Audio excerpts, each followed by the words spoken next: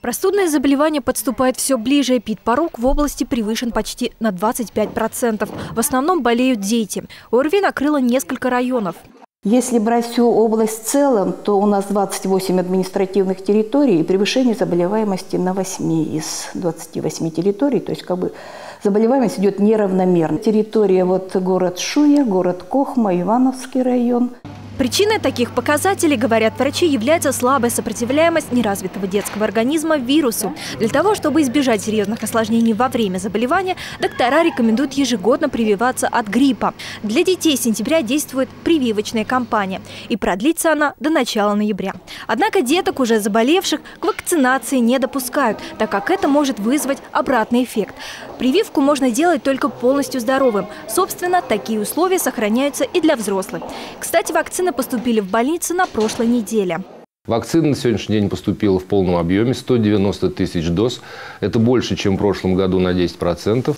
На сегодняшний момент привелись уже 5 тысяч человек. В Департаменте здравоохранения говорят, что через неделю цифры изменятся.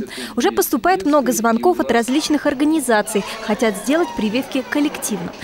В связи с более поздней поставкой гриппола прививочная кампания для взрослых продлится до середины ноября. Специалисты настоятельно рекомендуют всем, кто не привился, обязательно сделать это. Грипп ведь очень тяжелое заболевание и в основном э, страшно своими осложнениями. Поэтому чаще, больше всего мы стараемся привить это лиц, страдающих хроническими заболеваниями, сахарным диабетом, заболеваниями легких, но прививаем, конечно, вне периода обострения.